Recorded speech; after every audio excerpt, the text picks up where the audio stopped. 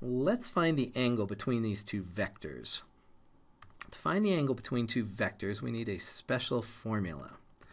And that formula relates the angle with the dot product of the vectors and the magnitudes of the vectors.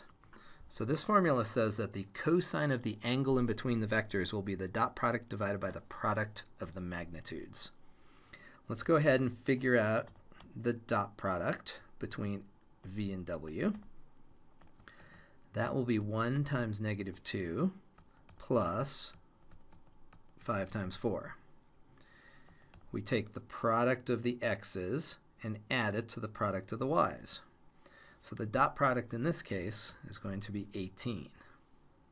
Let's figure out the magnitude of vector v.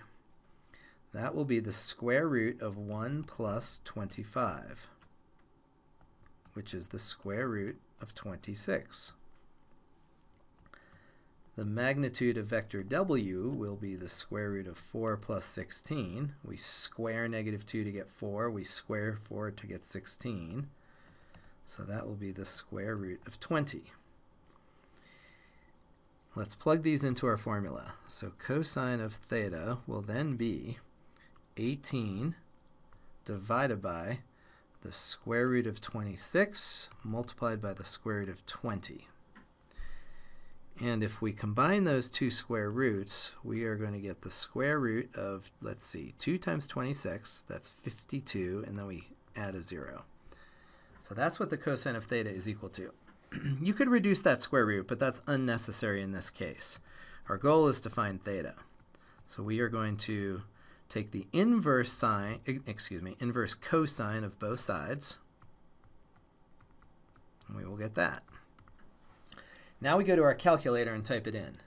Now make sure you're in the mode that you're supposed to be in. If you want to find the angle in degrees, which we usually do, we're going to type in inverse cosine 18 divided by square root of 520. Make sure you close off the square root parentheses and you close off the angle parentheses.